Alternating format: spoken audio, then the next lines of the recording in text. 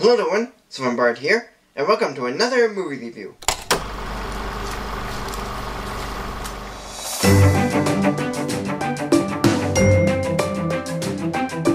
Remember back when I did a review of Gay Purr-ee last year?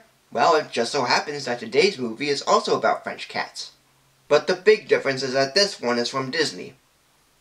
And being released on Christmas Eve of 1970, the film was known as The Aristocats. The film takes place in 1910 Paris, where a wealthy woman named Madame Adèle Bonfanelli has her lawyer named Georges Harcourt write out her will stating that she will leave her fortune to her four cats, Duchess, Toulouse, Marie, and Berlioz. And when the Madame's butler named Edgar hears about this, he kidnaps the cats and tosses them into the countryside in order to take the Madame's fortune. So being lost and not knowing where to go, the cats are helped by an alley cat named Thomas O'Malley, who takes them back to Paris and along the way they meet some other characters, while Edgar tries to hide his evidence of his kidnapping by retrieving his stuff that were left behind. Now you may be thinking, how does this film relate to Gay Purr-ee? They came from different studios, they are a decade apart, and they don't have a similar story. Well, they have similar scenes. The way the romantic leads meet each other is pretty similar, the cats walking on a train track and missing an oncoming train by going under a bridge is another. The climax and resolution with the villain is another one, and they both star French cats. Except the diversity in this one is very mixed, and not a single character speaks French. I wonder why Hollywood doesn't have French people in their films. Oh, and one part of the film is taken from 101 Dalmatians. Well, great. Now they're stealing from their own films. I'm just saying. But surely the animation would be decent. Uh, not quite. It is often sketchy, and I'm not very into that style. Most of it comes from the humans, and it just looks very odd. Not to mention some reused animation and character reactions and actions repeated two or three times. Now, what about the songs? They are the best part of any Disney film. But surprisingly not this one. They mostly become forgettable with the lyrics, mostly pointless, and even slightly annoying.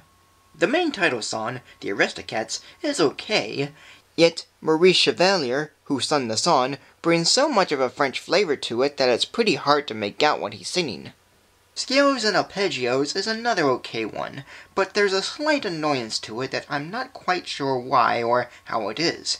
Yet it is something.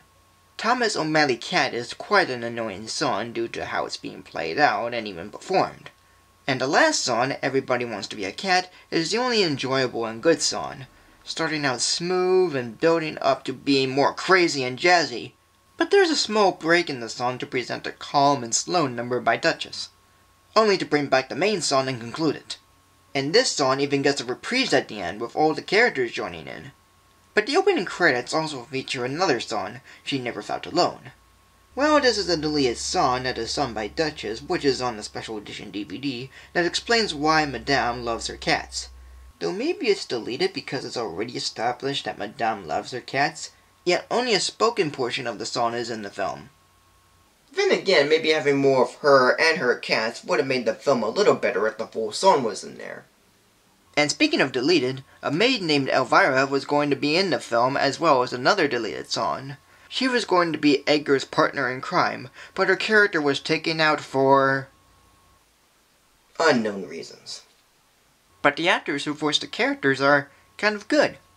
Phil Harris voices Thomas O'Malley, Eva Gabor voices Duchess, Sterling Holloway voices Roquefort, Scatman Crothers voices Scat Cat, Pat Buttram voices Napoleon, George Lindsay voices Lafayette, Hermione Baddeley voices Madame Adelaide Bonfanelli, Roddy Maude-Roxby voices Edgar, Nancy Kulp voices Frou Frou, and Charles Lane voices George Harcourt. As a whole, this movie is okay, but mainly meh. The characters are fine, the story is okay for what it is, the animation is fine, but not very much, and the songs tend to be forgettable at times, but are mostly okay. Director Wolfgang Reitherman did make an okay attempt at bringing a story about French cats trying to get home while meeting other characters and such. But the pointless moments, sketchy animation, story relation to a few other films, and songs that are sometimes unneeded don't add a whole lot to the film, and in some ways would become boring. It's not one of Disney's best works, yet it's not one of their worst works. At first I thought it was a good film as a kid, but looking back at it now, it just didn't do as much. And I have no regrets about it. So today, this movie will get a rating of two and a half minus stars. So thank you for joining me. Like, comment, subscribe.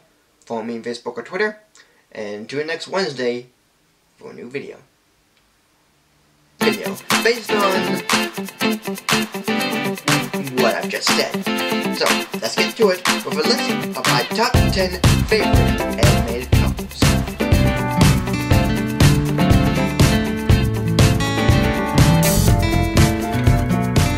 Number 10